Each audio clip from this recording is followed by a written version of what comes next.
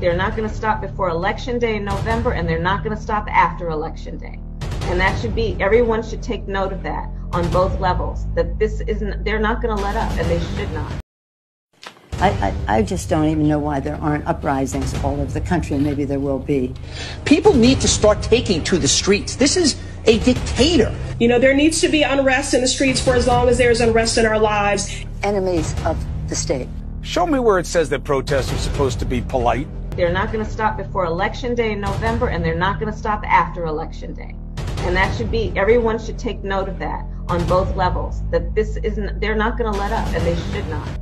Do something about your dad's immigration practices, you feckless. When they go low, we kick. How do you resist the temptation to run up and wring her neck? The biggest terror threat in this country is white men, most of them radicalized right, uh, to the right. I thought he should have punched him in the face. I said, even if you lost, he insulted your wife. Yes. He came down the escalator and called Mexicans rapists and murderers. He said, well, what do you think I should have done? I said, I think you should have punched him in the face and then gotten out of the race. You would have been a hero.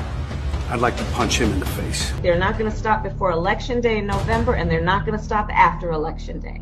And that should be, everyone should take note of that on both levels, that this isn't, they're not going to let up, and they should not. I said if we were in high school, I'd take him behind the gym and beat the hell out of him. Punch some people in the face! When was the last time an actor assassinated a president? They're still going to have to go out and put a bullet in Donald Trump, and that's a fact. Look as his character is stabbed to death. Where is John Wilkes Booth when you need him? I have thought an awful lot about blowing up the White House.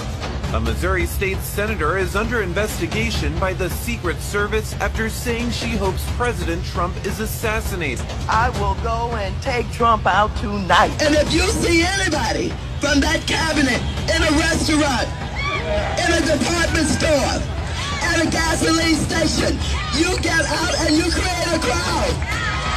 And you push back welcome anymore, anywhere.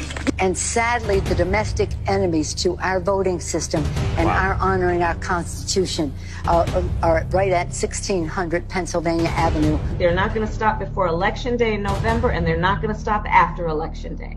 And that should be, everyone should take note of that on both levels, that this isn't, they're not going to let up, and they should not. They're not going to stop before Election Day in November, and they're not going to stop after Election Day. And that should be, everyone should take note of that on both levels, that this isn't, they're not going to let up, and they should not. They're not going to stop before Election Day in November, and they're not going to stop after Election Day. And that should be, everyone should take note of that on both levels, that this isn't, they're not going to let up, and they should not.